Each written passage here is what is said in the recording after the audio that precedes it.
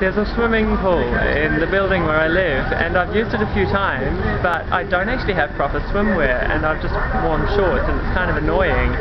So today I finally got round to buying proper swimwear. I bought togs, and I ended up with these little bright red shorts, and I don't mind telling you that a large part of my decision-making process in buying them was that they reminded me of Baywatch. I thought not only am I buying clothes in which I can swim, I'm also buying a costume. If at the last minute I need to, you know, produce a costume uh, for a party, I can just wear those shorts and be this skinny runty guy from Baywatch. Was there a skinny runty guy? I don't know. Now I just need to get my hands on one of those uh,